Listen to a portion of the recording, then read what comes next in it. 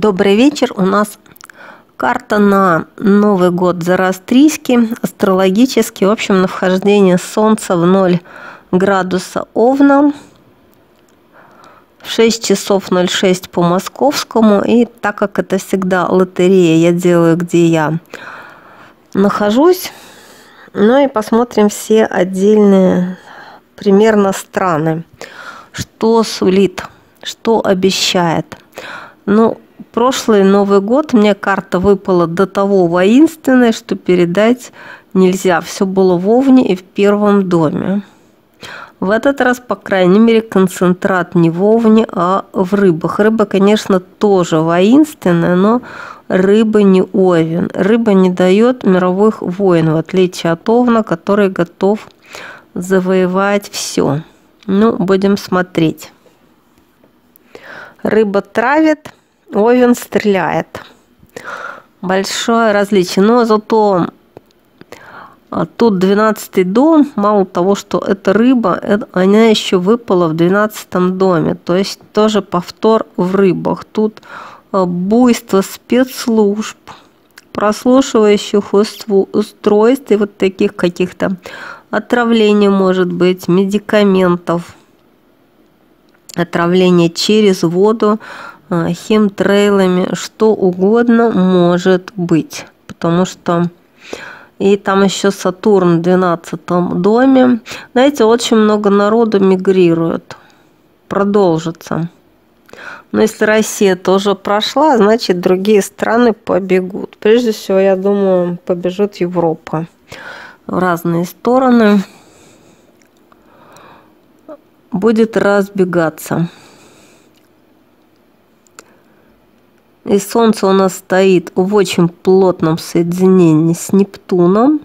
Нептун настолько сожжен и захватывает, ну, в общем, практически захватывает Меркурий в свое соединение, но он не сожженный. И с восходящим узлом лунным. Знаете, как это? Это обесценивание старых ценностей старой религии, если хотите, старых убеждений. Это мир меняется. Мир меняется неудержимо. Вроде у нас есть ценности, причем Нептун остался за Солнцем, Солнце его обошло. Это наши твердо устоявшиеся ценности, наши традиции. И тут они рушатся. Как это вот...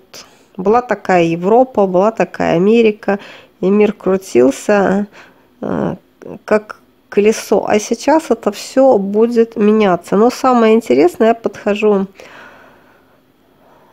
для меня это второй дом. Кстати, на востоке войны не должно быть, она не перебросится. Восток довольно мирный. Это уходит в тайную грузню и в лозунги. Гораздо больше, чем воинственность. Но тут самое интересное, это второй дом. Это дом денег и деньги, которые конкретно люди получают. И страны тоже. И у нас тут интереснейшее соединение. Юпитер соединение с Ураном. Он довольно плотный. У него чуть больше 5 градусов. Для соединения Юпитера это очень много. Он тянет больше 10. И самое четкое это будет, когда он соединится, сработает. И второй дом в Тельце. Вообще это классический, он там и должен как бы находиться. Классический второй дом соответствует Тельцу. То есть э, мировому здоровью и мировым деньгам. Но и мы все получаем с этих денег, которые черпает наша государства. И смотрите, Юпитер говорит об очень стабильном экономическом положении, а Уран разрушает полностью. То есть это продолжение, в общем-то, того, что идет сейчас. Где-то стремительно будут подниматься предприятия. Это хорошо для интернета, для авиапромышленности, и он с такой же легкостью еще больше разваливает. Я думаю, мы в этом году увидим развал и госпредприятий очень многих в Европе и в Америке. Все, что было шатким, все, что было построено на пирамиде, все, что было построено на игре, с одной стороны, мах этой игры еще больше раскрутится. И Луна в пятом доме, это дом игры, об этом очень четко намекает. К тому же она у нас еще и стоит. Она стоит и во льве, и в пятом доме. То есть это дважды усиливается. Игра будет невероятной. Делайте ставки, господа. Мировая игра во что-то. Хотите в войну, хотите в э, пандемию. Ну, на пандемию денег нету. Так что те, кто боится пандемии, ее не будет. Нет средств для этого маха. Просто не на что им это сделать. Э, если бы было побольше денег, запустили бы. Э, не волнуйтесь потому что тут 12 дом очень выражен. Мировые пандемии очень связаны с 12 домом. Тем более в этом году будет шат, обязательно бы запустили мировую пандемию. Кстати говоря, вот спрашивали, когда была испанка, с какой звездой было связано шат. А шат я давала отдельный подробный прогноз запустили бы, но, но не хватает денег. Вот это соединение Юпитера и Сурана такие планы подорвало. Запустили бы, не волнуйтесь. Так что вот эти банкротства, сегодня услышала, что Мерседес э, продает все акции э, в Германии, полностью он уходит в Китай, потому что он держится на Китай. После ухода с России у него минус 2 миллиарда, в Германии у него и в Европе минус он пока держится на Китае. Ну, не знаю, будут ли покупать. Китайцы очень законопослушны. Им скажут не покупать марку Мерседес, и все не будут. Я думаю, что эта компания как-то на издыхание. Они сейчас толкают свое. Зачем кормить чужих? И в Германии понизились зарплаты на 10%. Я уж не говорю, что там обвал в Финляндии и в Восточной вообще Европе идет. А жуткий обвал просто падение до 70% э, акцизных сборов э, не собирается в предприятии, то есть 70% предприятий закрыты или в убытке. Вот это продолжится стремительным потоком, а с другой стороны раскрутится мах новых каких-то предприятий, но там уже где они шли. То есть я в России, думаю, пойдет очень хорошо развиваться. Очень хорошо пойдут новые технологии, на это найдутся деньги, на интернет найдутся деньги. И при всем этом Юпитер предвещает всем странам деньги – и довольно большие. Вопрос, кто их на что потратит, кто дальше а, будет вращать как это зеленая энергия. Кстати, закрывается, сокращается а, эти электромобили. И я думаю, прежде всего, потому что они стали гореть. Во-вторых, сразу говорили, они ездить не будут. Почему закрывают? Потому что они нет на них покупателей и нету э, дешевой электроэнергии. Так что это опять обвал. Вот вам еще триллионы пролетевшие. Просто пролетевшие. Вначале пролетело биотопливо, теперь электромобили пролетели. Вот это соединение Юпитера с Ураном. Было, делали, ставили ставку. Все кричали только электромобили.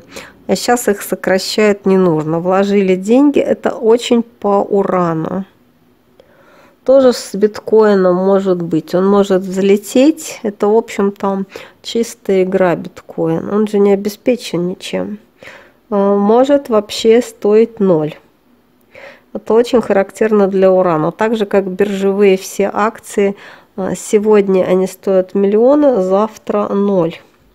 Я бы вам посоветовала держать деньги в чем-то реальном, чтобы вот эти скачки на вас не отразились.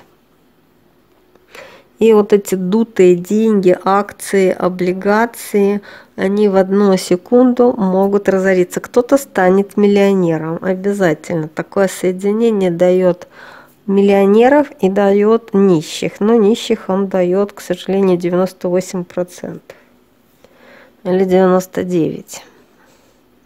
То есть тут нужно что-то, реальные ценности, не накапливайте уйму денег под подушкой, но каким-то неведомым путем, я не знаю каким, при такой экономике деньги в мир хлынут. Не очень хорошо.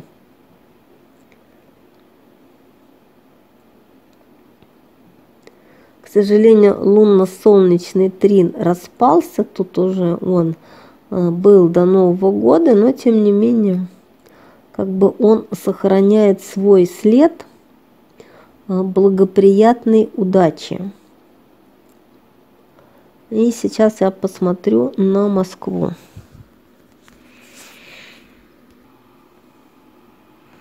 Москва. Тут ну, такая интересная карта.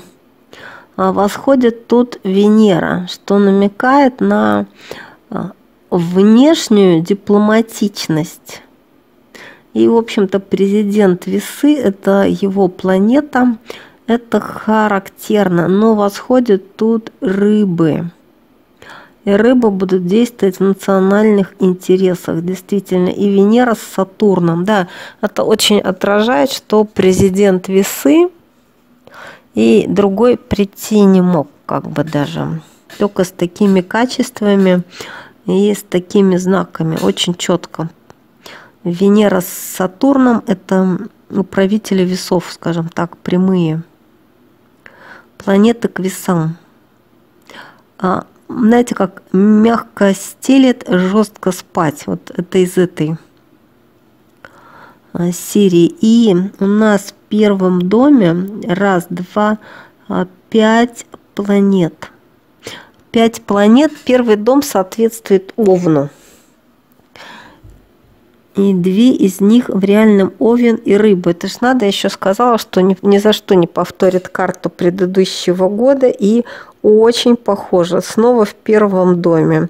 Знаете, это воинственный дух, который не погас, и все. В общем, это продолжение отстаивания своих интересных, суверенных интересов и своей страны государства. И что еще? Марс и Плутон тут в 12 доме. Это планеты армии и планеты спецслужб. И они в 12-м. Это, в общем-то, их самое сильное место. Это очень сильные спецслужбы и тайная деятельность армии производство нового оружия. Юпитер с Ураном, например, тут тоже могут дать. Или какие-то новые технологии. Но для спецслужб, а для разведки тут самое сильное место. И очень многие намерения тут просто останутся неизвестными. В общем, то, что реальные планы намерения останутся за кадром. А так, такой же боевой дух на высоте. И Нельзя говорить название, это слово даже произносить, но посмотрим на другую страну. Надеюсь, вы догадаетесь, о чем речь, потому что ее называть нельзя. Ни в коем случае. Кого называть нельзя. За кого блокирует YouTube. Так, но тут восходит Марс, и тут вообще семь планет в первом доме. Ну, тут дух боевой на высоте. Знаете, я тоже порадую, что сейчас денег нет, они тоже появятся, тоже Юпитер с Ураном. Деньги будут, но могут быть сразу и растрачены. И воинственный дух тут тоже ничем не погас. Марс восходит, и в первом доме, который соответствует Овну, и Овен – знамя войны, и Марс – война, тут ничего не изменится.